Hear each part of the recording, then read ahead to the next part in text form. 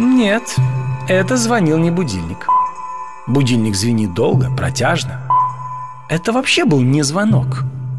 Просто где-то рядом что-то блямкнуло и тишина.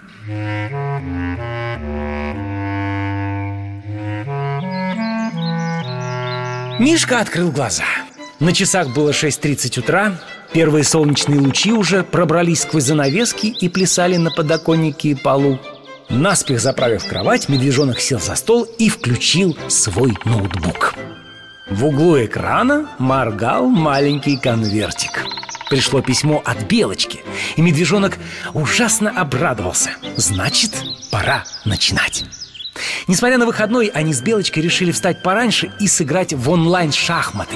Вчера счет в их шахматной битве был равным И сегодня Мишке прям-таки не терпелось выиграть в реках, в горах и на равнине В теплых болотах и в жарких пустынях В больших океанах, на глубине В небе высоком и даже в земле. Чудесные звери живут на планете Узнать о которых хотели бы дети кто угадай на вопросы ответит? Кто знает про всех зверей на планете?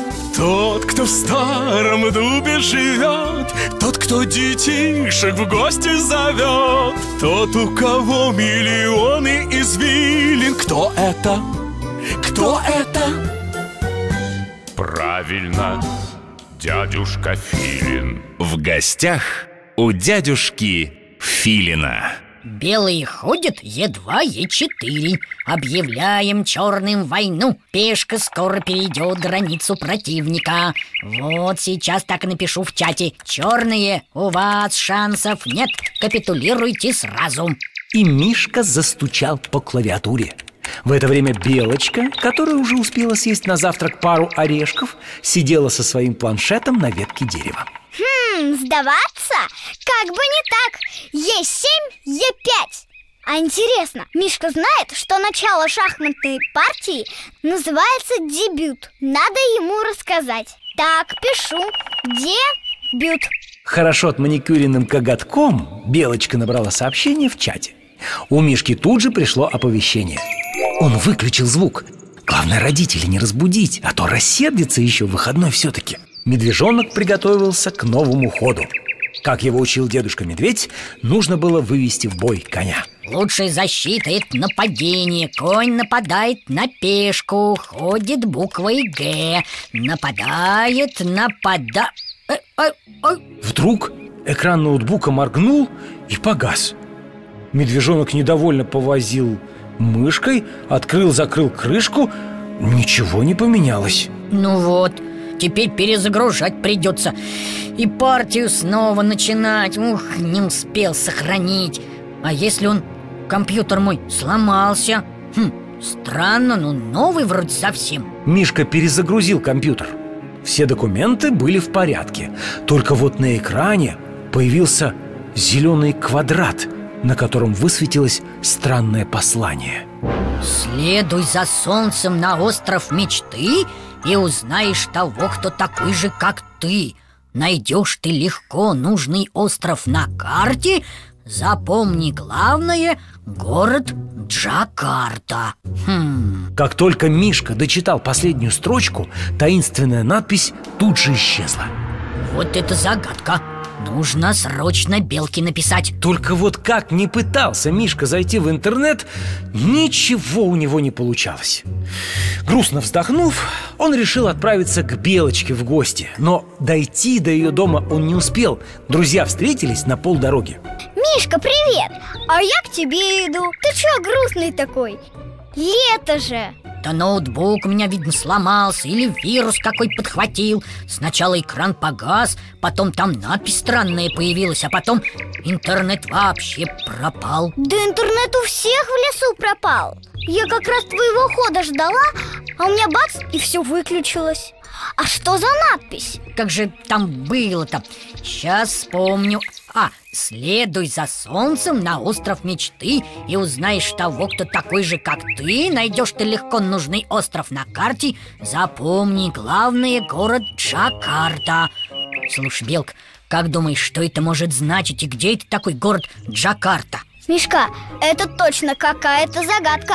Скорее к дядюшке Филину. Да, пошли, Белка Главное, чтобы он не спал, а то как-то неудобно получится И друзья пошли по тропинке к раскидистому дубу Где жил и работал лесной ученый дядюшка Филин По дороге они то и дело встречали встревоженных соседей Лисица, которая совершала утреннюю пробежку, остановилась и недовольно тыкала лапкой в телефон, никак не могла скачать новую музыку. Ежик грустно пробормотал, что отправил письмо племяннику и теперь не знает, дошло оно или нет.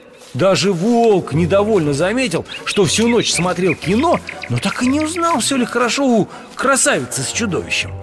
Наконец впереди показался знакомый дуб, и Белочка, встав на носочки, нажала потайную кнопку – Листва зашумела, и дверь открылась, впустив зверят внутрь прямиком к лифту.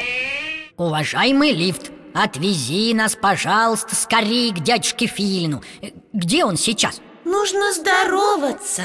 Доброе утро, медвежонок и белочка. Мудрый Филин на 120 этаже. На 120-м?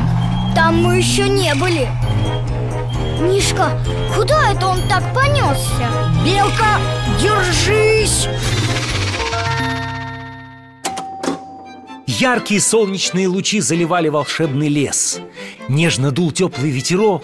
Белочка с Мишкой оказались на маленькой открытой площадке Расположенной прямо над кроной раскидистого дуба.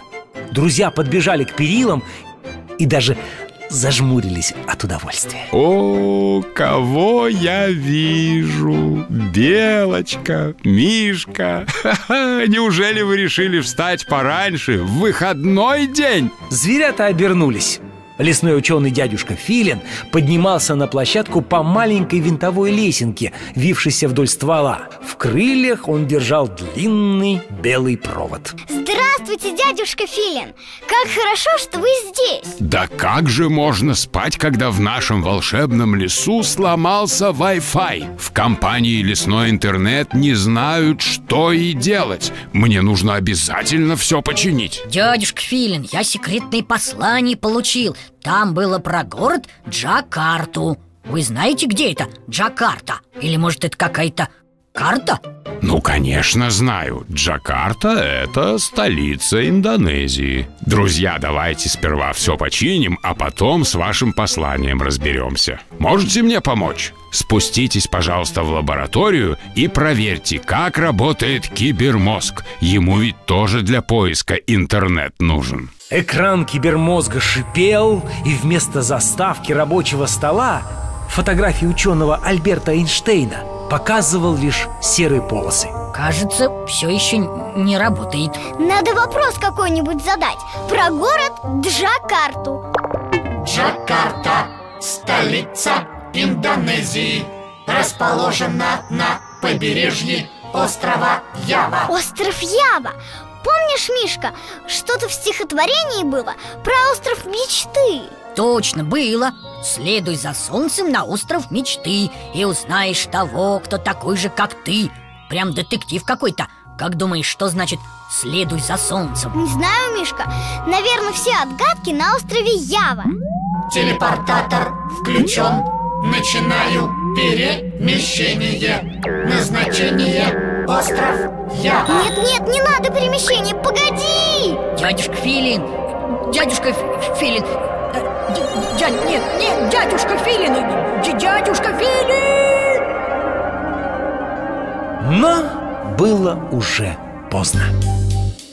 Кто угадай на вопросы ответит? Кто знает про всех зверей на планете? Тот, кто в старом дубе живет Тот, кто детишек в гости зовет Тот, у кого миллионы извилин. Кто это? Кто это? Правильно, дядюшка Филин. В гостях у дядюшки Филина. Было очень жарко и влажно. Покрытые мхом деревья тянулись вверх к небу. С кривых покосившихся стволов спускались длинными зелеными нитями незнакомые растения. Белочка подняла глаза и осторожно потрогала плотную листву кустика, похожего на пальму. Я знаю, где мы, Мишка. Мы в тропическом лесу. В таких лесах водятся белки-летяги Мне папа рассказывал. Белка, главное, чтобы тут кого пострашнее не водилось. Как-то мне чего-то не по себе. Эх, где же дядюшка Филин? А я думаю, неспроста нас сюда кибермозг отправил Как там в стихотворении было? Следуй за солнцем на остров мечты Вот мы и здесь, на острове мечты, на острове Ява. И нам нужно следовать за солнцем. Ну как же за ним следовать-то, если вот оно, прям над головой висит? Наверное, нужно идти на восток Там, где солнце встает Подожди, я умею по мху стороны света определять. Там, где мха больше, север У нас в волшебном лесу это всегда помогает. Белка, кажется, это здесь не поможет. У этих деревьев, посмотри, везде мох. Мишка, Мишка, смотри, тропинка. Давай проверим, куда она ведет. Белочка указала лапкой на еле заметную тропинку, наполовину скрытую под густыми зарослями, и друзья, переглянувшись, отправились в путь. Белочка прыгала впереди, Мишка немного отставал, ему требовалось время, чтобы все рассмотреть в деталях. В какой-то момент он даже потерял Белочку из виду. Она ловко запрыгнула на ветку дерева и затерялась в густой листве. Только рыжий хвост мелькнул. Белка, Белка, погоди, куда же ты так быстро-то? Мишка осмотрелся и вдруг увидел то, чего совсем не ожидал. Прямо перед ним на ветке стоял горшочек с медом. Этот восхитительный запах. Мишка подбежал, снял горшочек с ветки Зачерпнул лапой мед. Как же вкусно! И уже готовился отправить его в рот Как раздался страшный рык Медвежонок от страха ойкнул Поднял испуганные глаза И увидел черного медведя Стоящего на задних лапах И гневно потрясающего Большущим когтистым кулаком Сколько раз я тебе говорил не есть на ходу, а дождаться ужина Аппетит испортишь И вообще, сын, где ты был весь день? Сын? У -у Ужин? Я... это... Незнакомец отобрал горшочек у медвежонка и сунул его под мышку И не успел Мишка опомниться как его самого схватили за лапу и повели в лес Это Все не дальше я, и это- дальше от дороги это Туда, не где я. нависали друг над Отпустите. другом диковинные вы- тропические а я деревья это- не И я. совсем не было видно солнца навер- Это не... Пустите меня! Белочка, Белка, Белка, спаси! Где ты? Никто не ответил Напрасно Мишка вырывался. Незнакомый медведь держал его крепко. Медвежонок успел его хорошенечко рассмотреть. Шерсть черная, гладкая Глазки маленькие Мордочка немного сморщенная А язык просто огромный. Рост он был совсем невысокого. Мишкины папа, да и мама намного больше. Но самым необычным было желтое пятно у него на груди Напоминающее то ли подкову, то ли золотое ожерелье. Вскоре они оказались на маленькой поляне. Вокруг лениво бродили медведи черные с желтыми пятнами на груди И все они кивали Мишке, как старому знакомому. На ужин мед и салат из термитов. Иди в комнате, пока приберись. И медведь с желтым пятном на груди легонько подтолкнул медвежонка к ближайшему дереву. Ох, Белочка, где же ты? Куда же ты пропала? Как мне отсюда выбраться? Опечаленный, медвежонок бросил взгляд на дерево. Здесь кто-то явно обустроил все по своему вкусу. К крепкому стволу была приставлена небольшая лесенка, чтобы удобнее было подниматься и спускаться. А наверху, затерянный в ветвях, виднелся маленький домик. Мишка всегда о таком мечтал.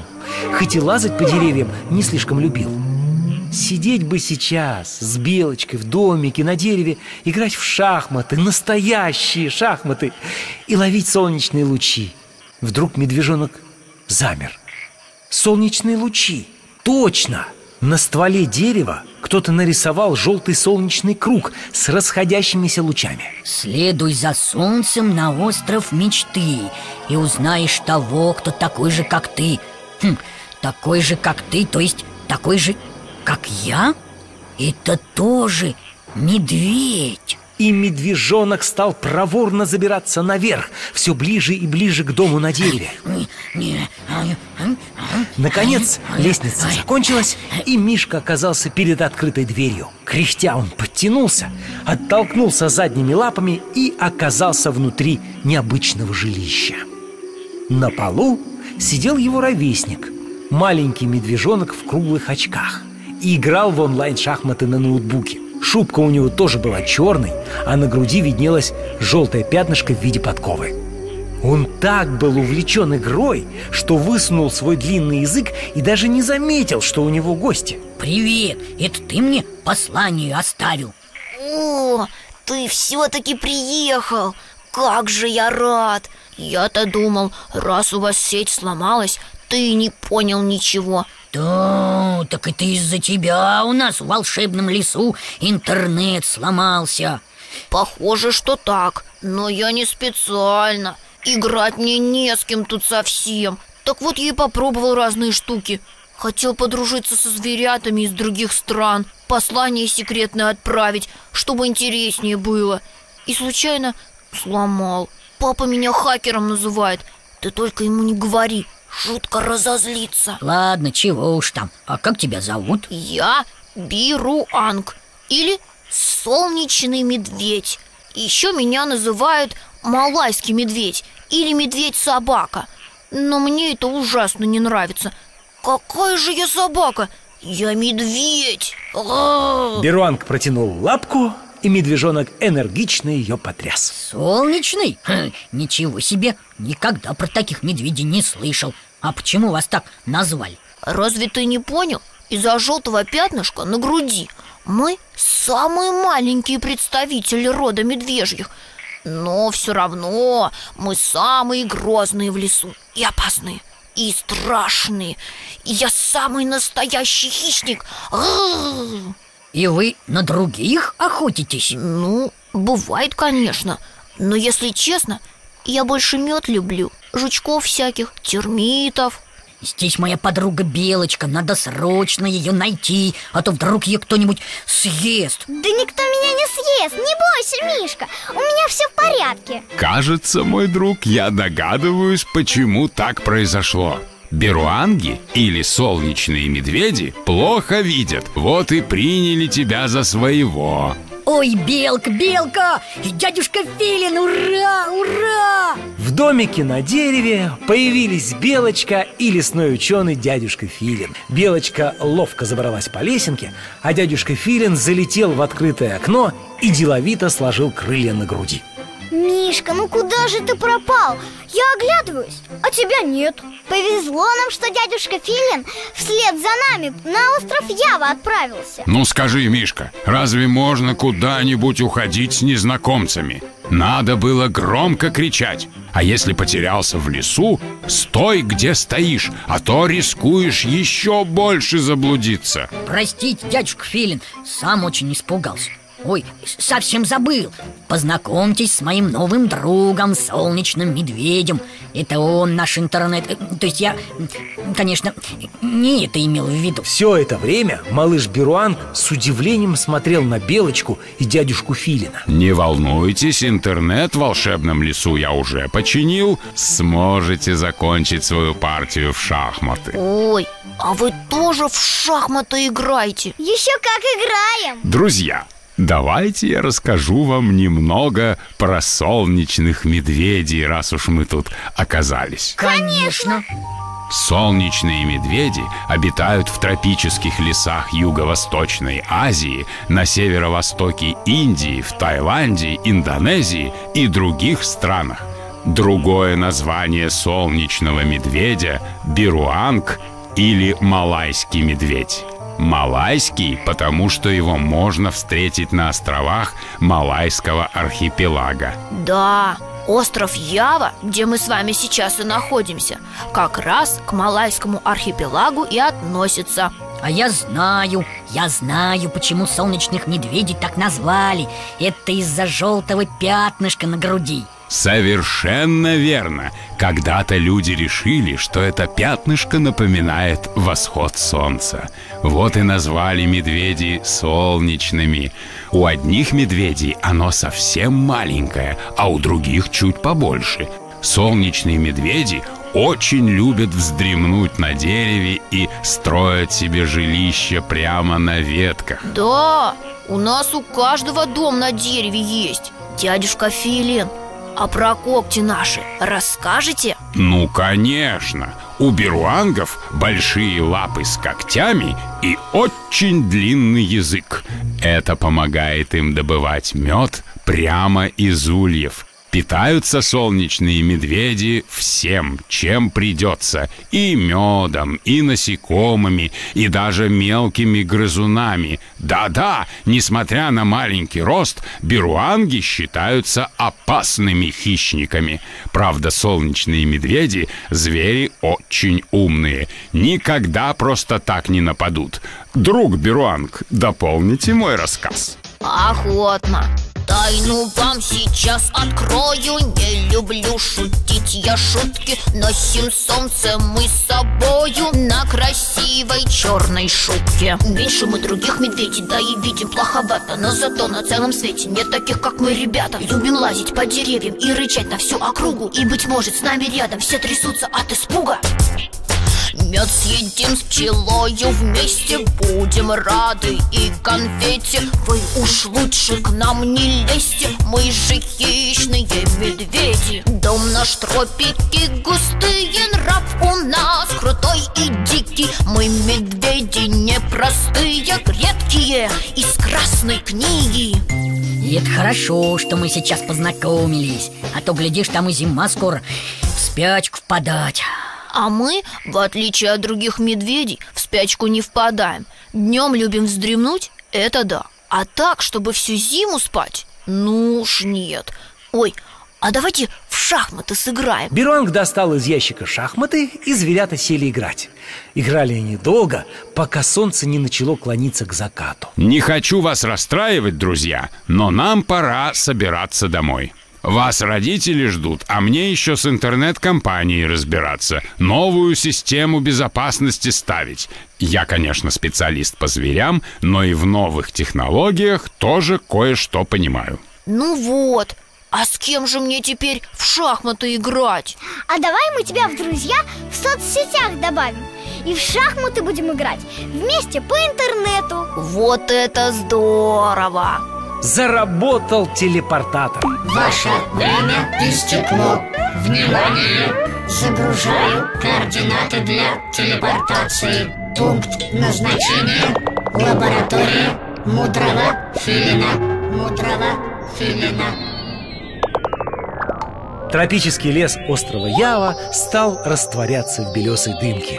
И через мгновение пение птиц, стук дятла, прохлада и шорох листвы известили наших путешественников о возвращении в родной лес Мишка, я домой компьютеры Войду в сеть, свяжусь с Беруангом И в шахматы будем вместе играть Как же это мы будем втроем в шахматы играть? Зачем втроем? В четвером и в пятером и э, мы устроим большой лесной международный онлайн шахматный турнир Кибермозг, запускай! Слон, конь, ферзь и пешка Турнир начнем, не стоит мешкать Король, ладья, шах и мат За победу награда мармелад Чем закончился турнир? И кто стал чемпионом? Это уже совсем другая история В реках, в горах и на равнине В теплых болотах и в жарких пустынях В больших океанах, на глубине В небе высоком и даже в земле. Чудесные звери живут на планете Узнать о которых хотели бы дети кто угадай на вопросы ответит Кто знает про всех зверей на планете Тот, кто в старом дубе живет Тот, кто детишек в гости зовет Тот, у кого миллионы извилин Кто это? Кто это? Правильно, дядюшка Филин. В гостях у дядюшки Филина.